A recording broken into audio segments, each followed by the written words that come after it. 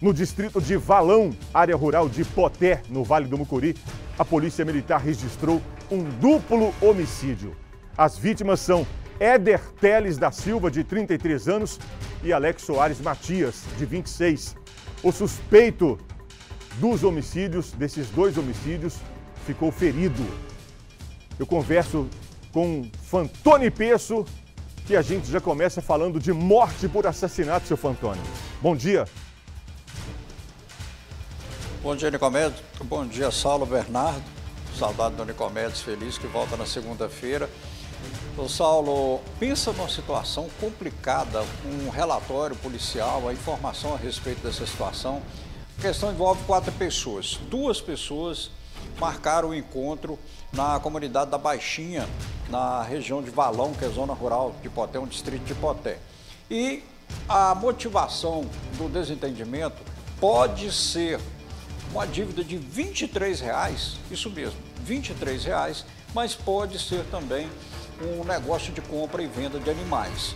E aí, os quatro cidadãos, quando chegaram ao local, dois começaram a ter desentendimento por conta, não se sabe ainda se por conta desses dois motivos ou se existem outras causas, mas aí houve um desentendimento, um atrito verbal, os ânimos se exaltaram e em dado momento um cidadão que observava a conversa das duas pessoas, saca uma arma, efetua disparos de arma de fogo e aí há aquela troca de tiros.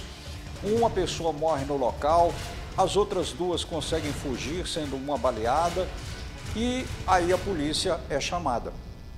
Polícia Militar, quando chegou ao local, as vítimas já haviam sido socorridas, uma estava morta, mas aí começam as buscas pelos envolvidos. E aí a segunda vítima foi encontrada morta na carroceria de uma caminhonete num sítio próximo ao, a, nas, nas imediações onde esse crime aconteceu. E agora a polícia vai apurar com os dois cidadãos que estavam no local, sobreviventes, o que aconteceu, como aconteceu, por que aconteceu.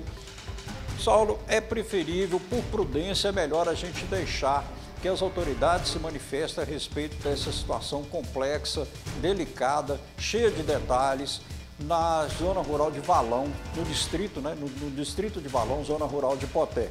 Semana que vem nós vamos dar detalhes a respeito desse crime, Saulo, mas é uma questão delicada por conta de uma possível desavença comercial, desacordo comercial, duas pessoas perdem a vida. Eu entendi. Ainda é uma ocorrência, ainda é uma ocorrência cercada de muitas perguntas, de muito mistério, de muito mistério.